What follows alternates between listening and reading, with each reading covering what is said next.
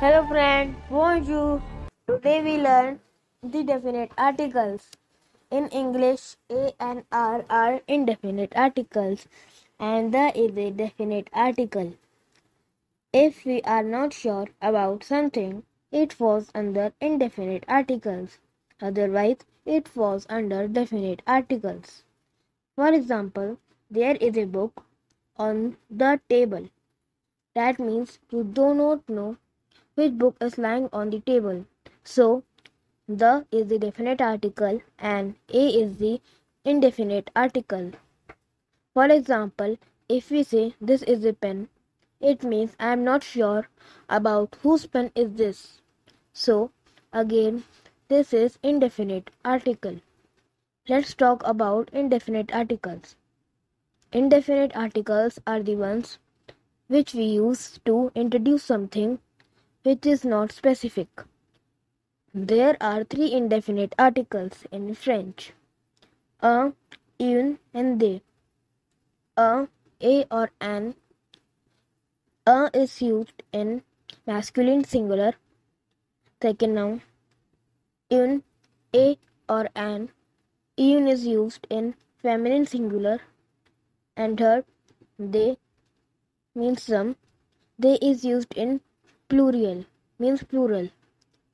All nouns in French are gender based. How do we know that particular word is masculine or feminine?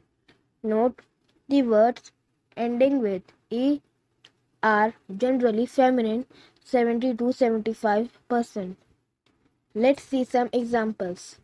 Une carotte, a carrot, une gomme, an eraser, une table, a table, and un bonite, a bottle. Friends, see all the words ending with e are feminine, so we put un before these words. Let's see some masculine examples. A pay, a bread, a chat, a cat, a mirror, a mirror, a tableau, a painting.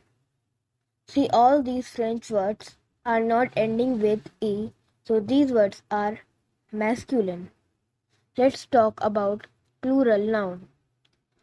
In English, if word ending with s become plural, they are pronounced in the same way, like pens, colors, etc. In French, we don't pronounce s after a word to make it plural. We use des before a word to make it plural instead. Let's see some example of plural noun. Des carrot, some carrots, des gum, some erasers, des tableau, some tables, des sacks, some bags. So that's all for the day. We will meet in my next video. Please subscribe our channel. Thank you for watching.